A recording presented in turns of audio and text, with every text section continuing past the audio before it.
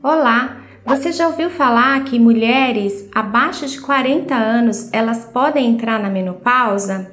Sim, isso pode acontecer. Essa condição é chamada de insuficiência ovariana precoce.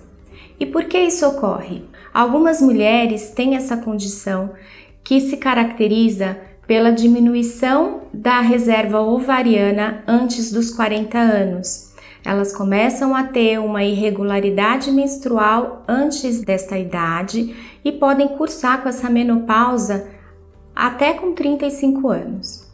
E como a gente faz esse diagnóstico? Hoje em dia, a gente tem uma certa dificuldade em fazer esse diagnóstico. As mulheres usam métodos contraceptivos durante a maior parte da sua vida. E quando ela retira esse método anticoncepcional para tentar engravidar, essa é a fase que a gente faz o diagnóstico. Portanto, uma dica que eu dou e que é muito importante: se você tem um histórico na família de mãe, tia, avó que entraram numa menopausa precoce, já fique atenta.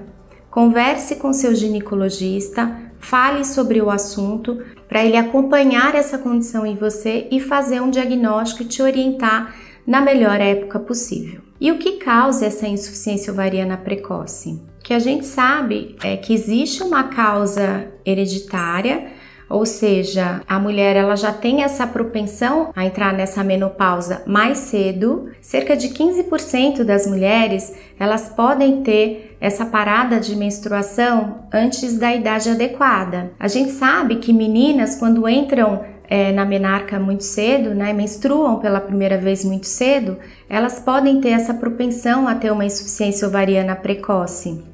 E mulheres jovens que passaram por cirurgias ovarianas, ou seja, por cisto, retiradas de cisto ovariano, que já não tem o tecido ovariano íntegro, como teria que ser, ou mulheres que já passaram por alguma cirurgia ginecológica, cirurgia oncológica, mulheres jovens com casos de câncer, câncer de ovário, câncer ginecológico, elas também entram numa menopausa mais precoce, porque elas têm a diminuição da sua reserva ovariana. E como saber se eu tô nessa menopausa precoce ou não tô na menopausa precoce? São os sintomas. Se você usa algum método contraceptivo, vai ser difícil avaliar, vai ser difícil de você perceber essas mudanças no seu corpo. Mulheres usuárias de DIU hormonal também, fica mais difícil de fazer essa avaliação. Mas se você não usa nenhum método anticoncepcional e você está reparando uma irregularidade nos seus ciclos menstruais, ou seja, seus ciclos estão ficando mais espaçados, com uma duração menor de sangramento ou com uma alteração até no padrão do sangramento, ou seja, não é mais aquele sangue mais vivo, aquele sangue mais fluido e passa a ser um sangramento mais escurecido, vá ao ginecologista, faça uma avaliação que ele vai poder te ajudar. Existe tratamento para insuficiência ovariana precoce? Na verdade, não. A gente não consegue reverter essa falência ovariana precoce.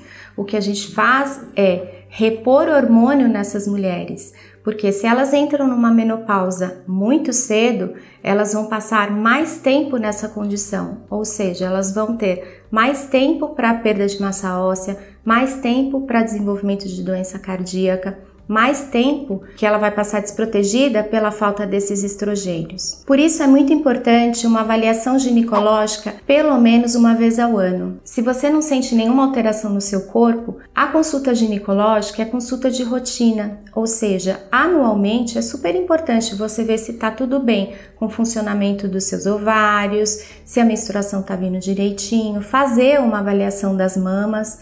Então é importante manter a saúde ginecológica. Só assim a gente vai conseguir avaliar essa evolução de uma possível doença ou de uma possível insuficiência ovariana precoce. E se você gostou do nosso vídeo, eu vou deixar algumas indicações de vídeo aqui para a gente continuar falando desse assunto, para você estudar um pouquinho mais sobre isso. E se tiver dúvidas, deixe seu comentário aqui embaixo. Inscreva-se no nosso canal, dê o seu like e ative o sininho de notificação.